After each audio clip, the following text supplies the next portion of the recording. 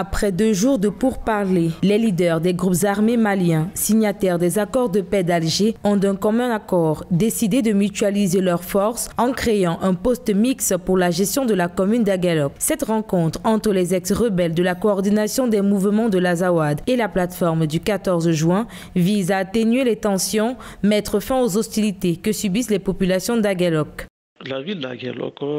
est très symbolique dans l'histoire contemporaine du Mali, car c'est de là qu'est partie la déstabilisation en janvier 2012, orchestrée par les officiers Touareg venant de la Libye. Donc, euh, depuis lors, il y a eu des dissensions au sein de ces groupes armés, ce qui fait que la signature d'un tel accord dans le cadre de la gestion de cette ville est une urgence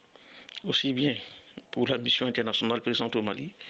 et également pour le gouvernement du Mali. L'accord signé entre les ex-rebelles de la coordination des mouvements de l'Azawad et la plateforme du 14 juin ne s'applique que pour la gestion de la commune d'Aguelok, épicentre du conflit armé dans le centre du pays. Selon les médias locaux, la signature de cet accord contribuerait à une baisse des conflits et permettrait une cohabitation pacifique des populations. Nous sortons quasiment euh, de près de six années euh, de guerre, de tensions et de méfiance de part et d'autre. Donc les autorités de la transition concède alors que cette ville soit gérée par ces groupes armés et de manière provisoire et, progressive, nous allons arriver à une situation de normalisation où la ville de sera alors dirigée par un gouverneur nommé par le pouvoir de Bamako en tant que tel. Donc il est hors de question aujourd'hui de généraliser cet accord au niveau national et car cet accord est une dissension de l'accord d'Alger